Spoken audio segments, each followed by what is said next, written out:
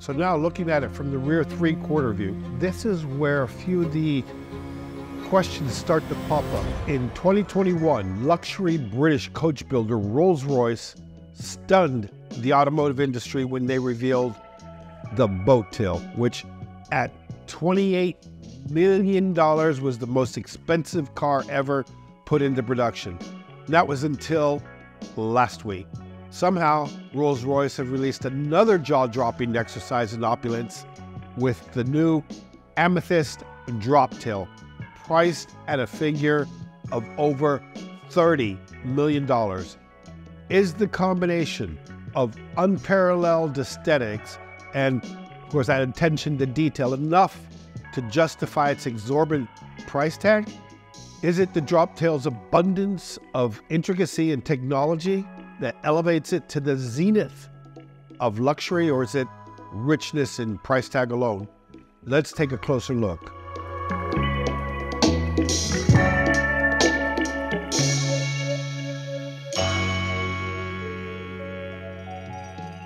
Now, the first three things that jump out at me on first impression are that grill. There's something about it that I can't really put my finger on, but it just has something that doesn't tell me perfection. The next thing are the headlights. Are they too simple? They're modern, but do they have enough character? And then the roof.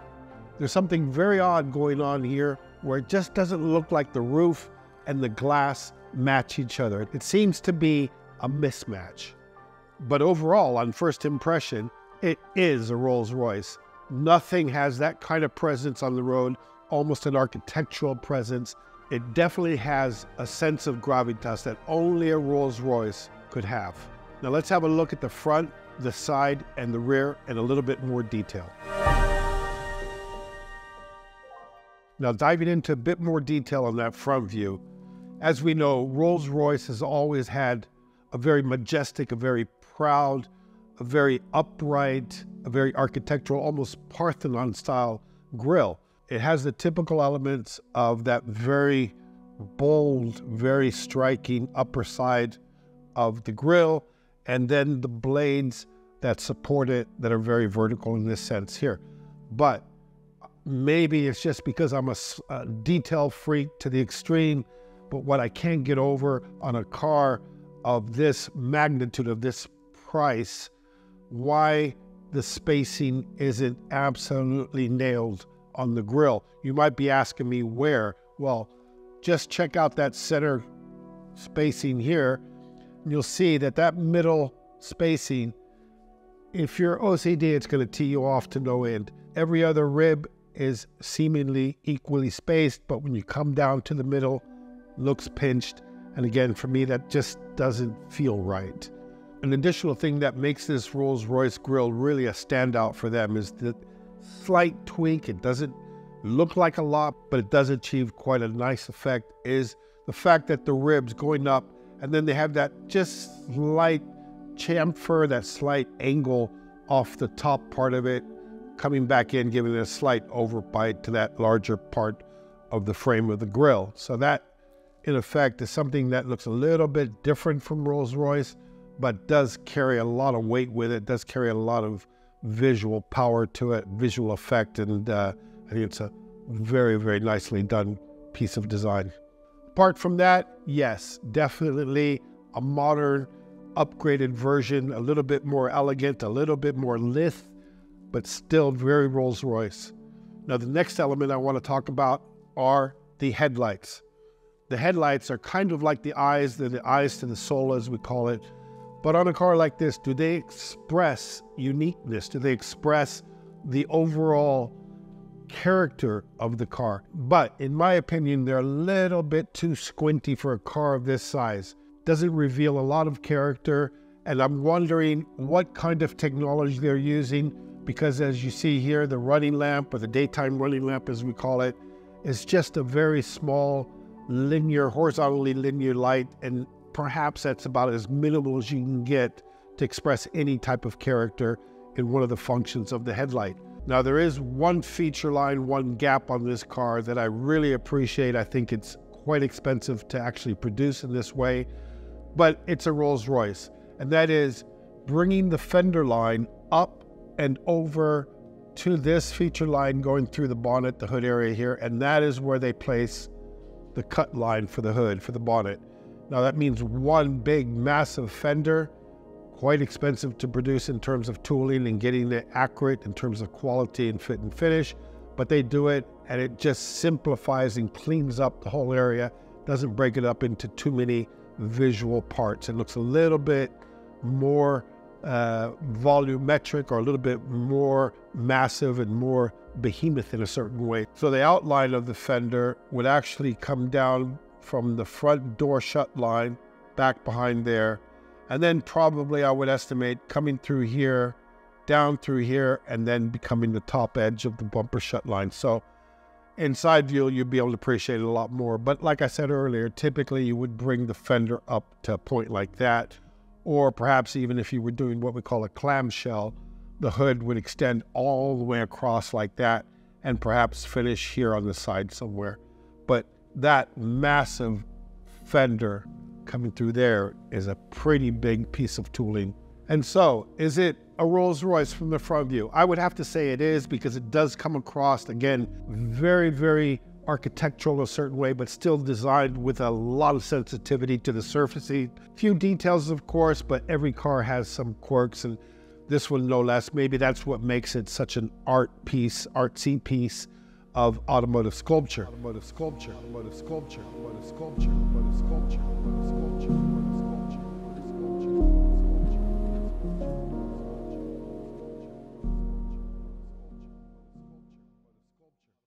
Now, from a side view, this is definitely something new for Rolls Royce. I recognize it as a Rolls Royce, but it is a little bit of an evolutionary approach to their design language. Let me explain. First of all, we have this type of design in the front, which gives you that sort of no bumper uh, feel to short overhang, no bumper type of feel to the front of the car. And again, very few cut lines. You can see that the only cut line that you're going to see on the fender in this view actually is right here where the bumper split is through there. And then you come all the way back, a large expanse of front fender all the way back to this line right here. And then, of course, you've got the typical Rolls-Royce almost refrigerator or vault-like door handles. You got a very, very large door on it, which is of the suicide type, which opens towards traffic, as we say. And that could be something that makes the car uniquely Rolls Royce. Not a lot of companies out there are allowed to actually even have permission to do that. Rolls Royce does. We moved to the back and you start to see ever so slightly the reason why they call it a drop tail. Before we get to that drop tail, I want to bring out one feature that I really like. It's almost a newer interpretation of surfacing on the side of a car. Not a lot of cars do it in this way. They typically do it in the opposite way. But in the Rolls Royce here, they brought something in a new type of light catcher or a new type of surfacing to the light catcher area, which is basically opening it up to the front and tapering it as it goes back. I can't exactly explain why they stop it here, what happens in this area here until we actually see it in real life, but there is some kind of new expression, new design language going on in the surfacing of this area here, even for Rolls Royce. What I find interesting on here as well is that from here forward, I recognize a Rolls Royce. From the rear shut line of the door backwards, I would never be able to tell you this was a Rolls Royce if it didn't have some kind of RR badge on it. Why, you might ask? Well, what other car have you ever seen that has very, very similar architecture to this? Probably none. Good reason. There's a few things on this design here that I would almost use the word convoluted because if you look at it, which we will do in a second, from the rear three quarter, there's things going on there which sort of jive. They don't seem to go with the cleanliness, this absolute elegance that we have going across this expanse here. In the back, especially on top, you'll start to see things that almost get a little bit too busy, a little bit over the top, at least in my opinion, because I think this is the elegance of the car. This is something that they've tried to actually emphasize why the car is going to be this expensive or why it has such a high price. And obviously the detail back there is, I would say, the justification to this to this vehicle's price. Now there is something on the door handle that I'm not a big fan of. And of course, when we're looking at something that is that big, that grabs your eye, that becomes a talking point piece of design, it better have a reason. And I can almost guarantee you this is probably the easiest opening and closing door in the automotive kingdom.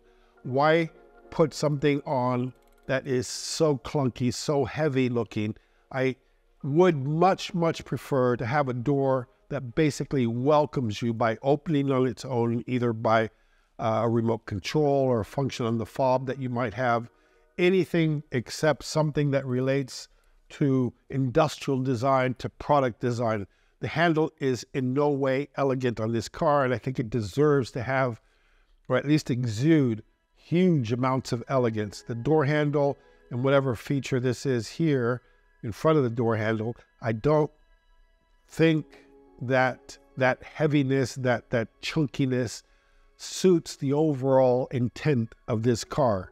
The wheels, they do look like they work with this car. Obviously, they have to be very large wheels. They're probably a minimum, I would say, of 22 inch on this car, probably even maybe a 23 inch, but very simple, very geometrically designed, goes well with the overall feeling of the front end and of the side of the car. Nothing too fancy, nothing, let's say, breaking new ground, but just working well with the sort of triangular themes I think that we can see through certain areas of the car. You can see that, you can see that. It does work. It looks like they tried to keep the theme of the body style in mind when they worked on the wheel design. Now, as we move to the rear of the car, you can start to see some strange things for Rolls-Royce happening. You can see this coming like that. You can see the window here, open glazed area something else that resembles almost another window coming in this area here, a dropping rear deck line, a line coming through the shoulder that just hints at dropping through there, and then something quite angular here in the back, and then another little bit of piece of a bumper coming down here. We'll have to look at that from a rear three quarter to start to appreciate a little bit more. But definitely the taillights look very fresh, very different from Rolls Royce hint of elegance with their little RR logo on this side. I'm curious because the other side must be the side, unless they've airbrushed it out, where they fuel up the car. And I'd like to look at that detail too, because a lot of times not a lot of attention is paid to simple elements like fuel flaps. So let's see what they've got on the other side as well. And what we're looking at here is a rear three quarter of the right side of the vehicle, where normally you would have the fuel flap. And as you can see, it's been airbrushed out. In reality, this is what it looks like, and no wonder they've airbrushed it out. And the reason why it's bad is because it doesn't even look like it was meant to be in that spot. And they've had to compromise it by eliminating part of that round fuel cap just to make it fit in that area. Total compromise shouldn't be done that way, I would say. Now, another thing besides the door handle that takes up a lot of visual attraction, a lot of your, your energy looking at, is the front door shut line, which comes in through like that. You can see it has a very distinctive rearward lean to it. Now, not a lot of cars have that, and that's for the certain reason that this one can have it. It's because of that suicide door opening system, which allows you to hinge it from here and this line here then, therefore, means that it can actually swing out and not dig into the side of the car if you were opening it in this manner. So that very distinctive door shut line right there makes you know that you're looking at a Rolls Royce with a very special door opening system. So now looking at it from the rear three quarter view, this is where a few of the questions start to pop up. No doubt that this car has presence again from the rear. Very distinctive look from the rear. Again, is it a Rolls Royce? Mm, I've never seen a Rolls Royce rear end like this, but it's a drop tail. It's supposed to look different, and it certainly does. I would say that the designer probably didn't design it this way. It just happened through engineering. For me, a bit of a compromise because in a car like this, we want zero compromise. It must absolutely be perfect. And one issue that I'll point out I don't know if you'll agree with me, but I certainly, I have OCD, so I have to admit it. Look at this area through here. The way the roof section comes down and then has almost a different curvature to the glass. You can see this amount of offset happening through there. That is not, let's call it normal or optimal. And I'm sure that in the design phase, the designer would have intended these two surfaces, the roof and the glass, to have followed the same amount of what we call barrel curvature. Barrel curvature being in two directions. Doesn't do that, so it looks like the roof isn't made to fit exactly and properly and flush to the glass area. Should be better, I would say. Then you have a glass line through here, which again is very unique, very characterful for this car. Does it work? While it is a little bit of that triangular sort of effect that they're bringing in through different elements. Okay, no harm intended, no harm done. The corner of the glass, we can see how it actually sits inboard, how the roof corner actually protrudes or extends outwards from that area there, a bit like an overhanging ledge. In reality, I'm not sure that's going to look great, but it is what it is. Then, if we look at the tail lights, for example, they're not, let's call it very strong in communicating a design feature. They're there, but kind of inconsequential, a bit too almost timid. I would expect in a car like this, even though the Rolls Royces tend to have overall smaller than you would expect taillights, on this one, they're almost so small, I would say that from a rear view at night, you're not really going to be able to tell that this is a Rolls Royce when you look at it from behind. Might be that at night it gives off a jewel like character to it, something very special that we're not seeing here. I would hope so. Again, a very, very expensively tooled rear fender on the car. You can see that the split line comes through here, through here, through here. Probably all this piece here is fender coming in through here. Now that is quite a large fender to produce, and you would expect that to be mounted with exquisite quality control. So kudos to Rolls-Royce for being able to produce something. Of course, it's probably hand-built, but still very impressive to see that kind of metal uh, produced in such a way that it looks almost like it's hewn out of a single piece of, of metal, if that's what they're using. The wood here, obviously very interesting, very, very expensive. I'm sure uh, probably split in the middle, looks like it with this type of grain coming through here. I read, I'm not absolutely sure, that has some kind of aerodynamic testing done on it to make sure that it works with the vehicle. That kind of testing that that we typically use to make sure that all parts of the car uh, perform optimally uh, and correct for the aerodynamics. I do like the surfacing on this vehicle here. It has that sort of change or bevel in that area here comes down very elegantly, creates the wheel arch ellipse through there. Again, very smooth surfacing through here, sharp angle change, that does give it quite a bit of character. Lot like what they're doing on the front of the car, so that does bring it in tune or at least in harmony with the design of the front end. Too often times we have cars that just don't relate front and back. And this car, with that amount of design going on on that surface does break away from what's happening in the front. But below that line, slightly below the belt line, we do have something that looks pretty congruous, pretty relatable to the front end design of the car.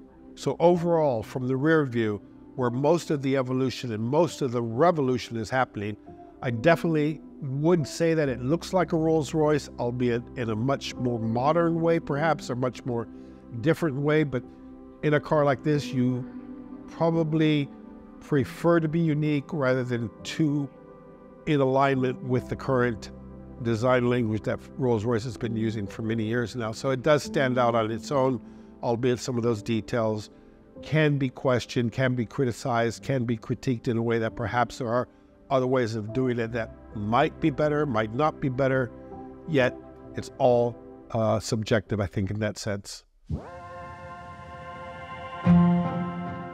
I'm just touching briefly on the interior of the Rolls Royce. Not a heck of a lot to say to it. Not because it's not interesting, but simply because Rolls Royce does not make hardly any mistakes on the interior. I say hardly, of course. Very happy to see that we don't have a massive display screen here. Just very nice to see that Rolls-Royce have kept it in the realm of elegance and not high-tech digital. Not that we're against digital, of course, but in a car like this, I think it's about elegance, and this just absolutely whispers elegance. There is one thing that really disturbs me on the interior of the car.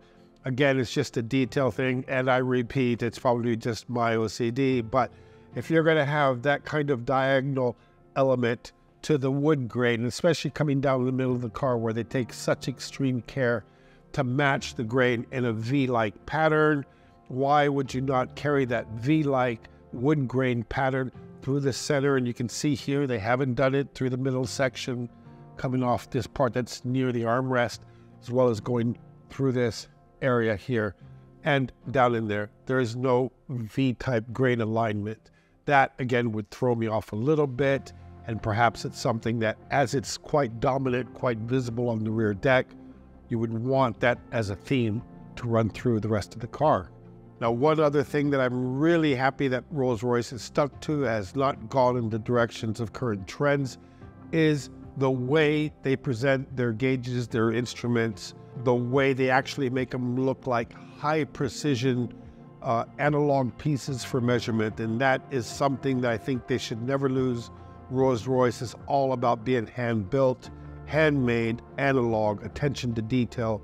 Definitely the look of their analog gauges is supreme, probably the best in the business. And I think that any owner of a car like this would most appreciate this type of look as they've done it on their vehicles. Regrettably, the Rolls-Royce Droptail fails to fully justify its astronomical price point from a critical design perspective. While it undoubtedly carries the cachet of the Rolls-Royce brand, its conservative design, impracticality, and its relative lack of technological innovation make it less compelling compared to some of its competitors. For buyers seeking a balance between opulence and innovation, I think there are more worthy options available in the ultra luxury automotive market. However, if you are the buyer of this car, you could care less what anybody else thinks about it because for you, this is your rolling art sculpture done by Picasso, done by Rembrandt, done by, uh, what's that guy that squirts paint everywhere? Jackson Pollock, thank you. And you don't need to ask people what they think about it. You are in love with this product. It is yours. You are the only one who owns it. And for that reason, and only for that reason, this car could be even worth 50, 100 million dollars and nobody should question that because it is what you want and what you can and are willing to pay for. As always, let me know in the comments below what you think. Is it just getting out of hand now? Where is that limit? Or is it fun to see these kind of works of art just coming out every couple of years or so and costing an arm and a leg? On the other hand, if you're looking for a car that pushes the boundaries of technology and of innovation, I'm afraid you're not going to find that here. Thanks so much for watching, and I'll see you in the next episode.